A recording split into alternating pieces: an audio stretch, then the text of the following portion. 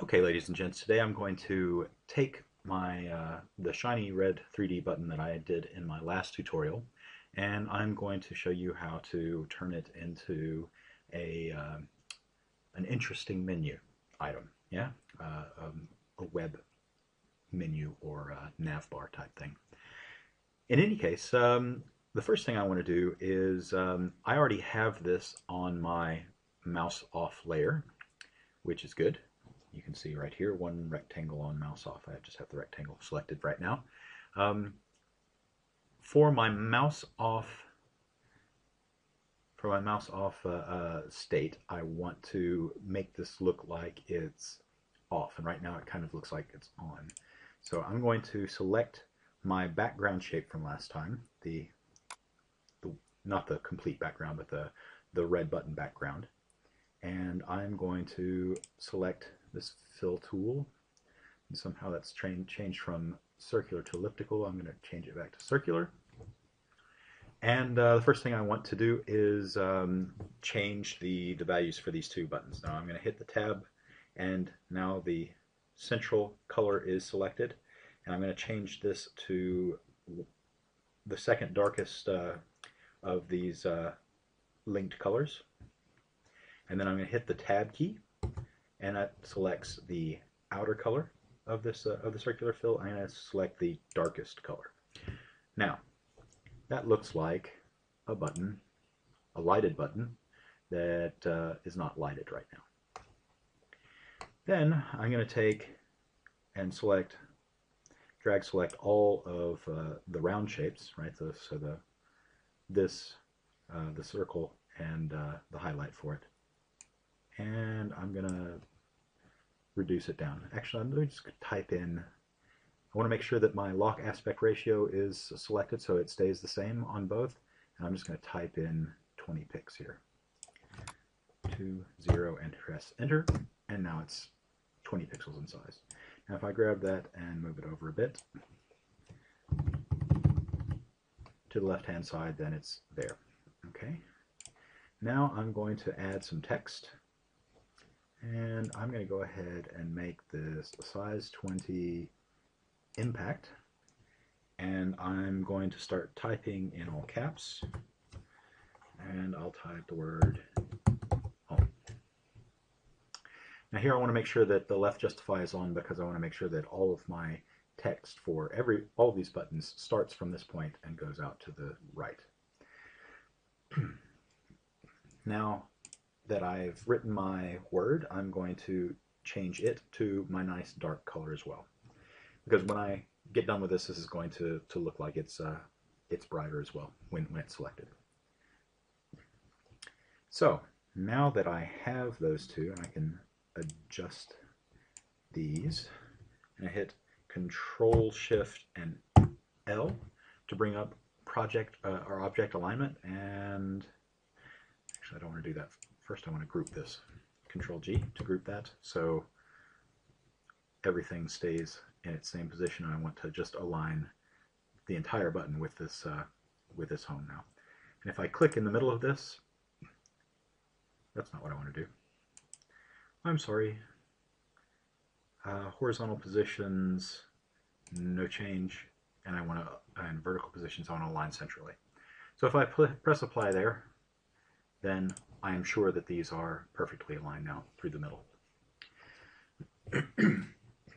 so, if I take all that and uh, group it together, and then uh, press Control C to copy it, and then click on my mouse over layer and make it visible, and press Control Shift V to paste in place, I, you'll now see if I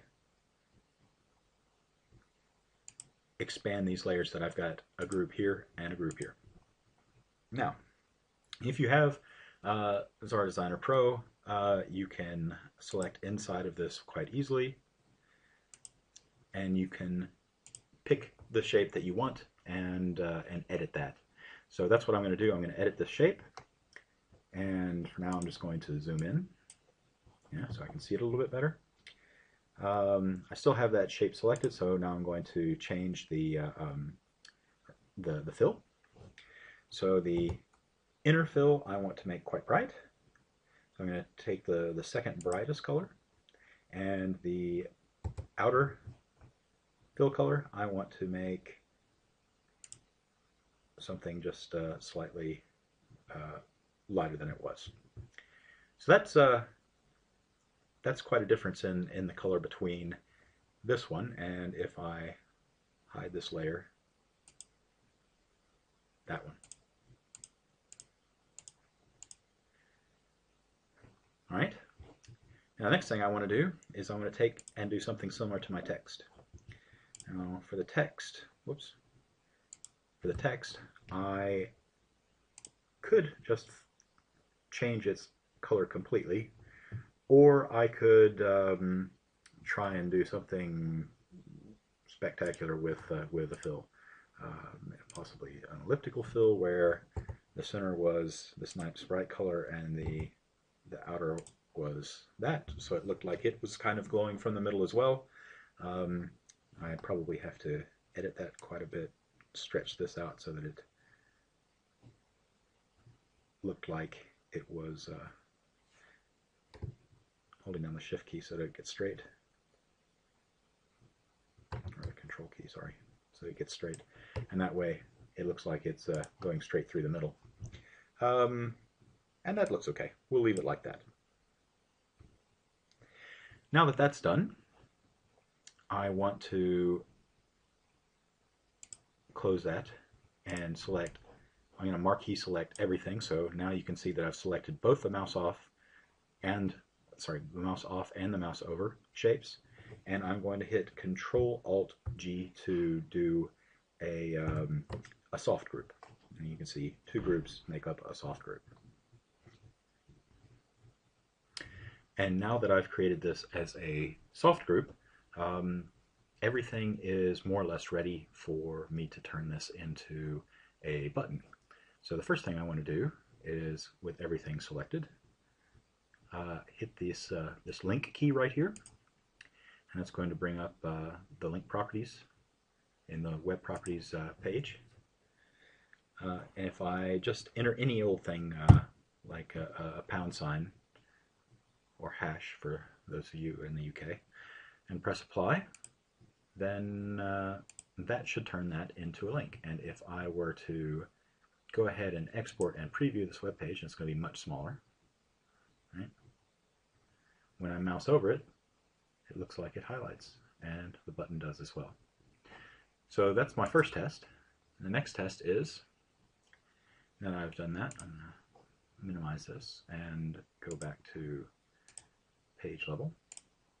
I'm going to increase the size of my background a little bit and I'm going to um, turn this into a navigation bar. Now I want this to be vertical and uh, top grows downwards, that's good. And I'm going to take off all buttons the same width.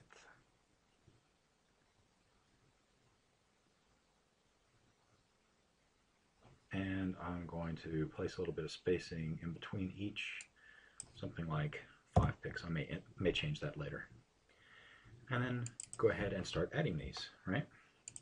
And if I can do, can do as many of these as I want, change what they're called if I want to, but when I press OK and preview this page, you'll see that they're all non-highlighted until I mouse over them. And that, folks, is how you can turn these into uh, your own newly designed navigation bar. And one more tip. What I said before in my previous uh, tutorial about um, about linked colors still holds true with this. So even all of these colors in here, if I were to drag up my main theme color 2 and edit it, all of those colors change with it. Yeah. So if I want to keep it blue now, and preview it, and now they're all blue. That's my tutorial. I hope you enjoyed it. Hope you learned something. And uh, see you again next time.